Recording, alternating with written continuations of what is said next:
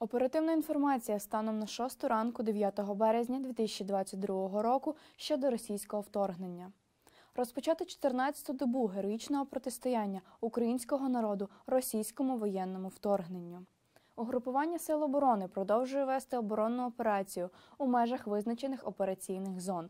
На північному та північно-західному напрямку продовжується ведення бойових дій в Поліському та Волинському операційних районах, а також вздовж ділянки державного кордону України та в районах населених пунктів Ніжин, Іваниця, Тростянець. Триває оборона міста Чернігова.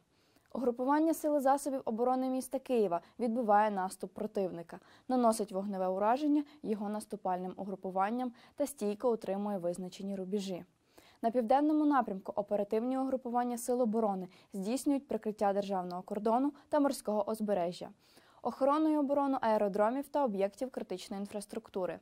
На інших напрямках угрупування військ проводять стабілізаційну операцію та виконують завдання територіальної оборони. Повітряні сили Збройних сил України відбивають ракетно-бомбові удари та знищують засоби повітряного нападу окупантів, здійснюють протиповітряне прикриття важливих об'єктів інфраструктури України та угрупувань військ. За наявною інформацією, у зв'язку з численними втратами особового складу, противник продовжує проводити приховану мобілізацію під виглядом навчальних зборів на тимчасово окупованій території Автономної Республіки Крим, Краснодарському краї та окремих районів Донецької і Луганської областей. Активізував діяльність щодо набору добровольців для війни на території України.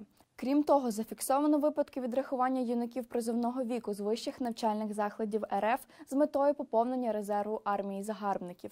Окупантами не виключається можливість залучення до війни з Україною військовослужбовців невизнаної Придністровсько-Молдавської республіки у кількості до 800 чоловік. Проте морально-психологічний стан зазначеного особового складу залишається на низькому рівні. У Бердянську ворог почав поширювати пропагандистські матеріали, направлені на дискредитацію військово-політичного керівництва нашої держави. У населених пунктах Чернігівської області, що тимчасово зайняті російськими військами, ворог порушує норми міжнародного гуманітарного права, продовжує переховувати озброєння та військову техніку серед житлових будинків та приміщеннях сільськогосподарських об'єктів. Використовує мережу лікувальних закладів для надання медичної допомоги пораненому особовому складу. Окупанти виводять з ладу вежі стільникового зв'язку. В Херсонській області виявлено, що військовослужбовці збройних сил РФ, переодягнені у цивільних одяг, висувалися у напрямку на місто Миколаїв.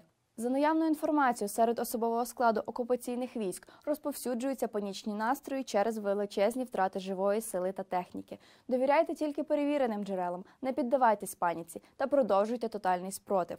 Віримо в наші збройні сили. Разом переможемо. Слава Україні!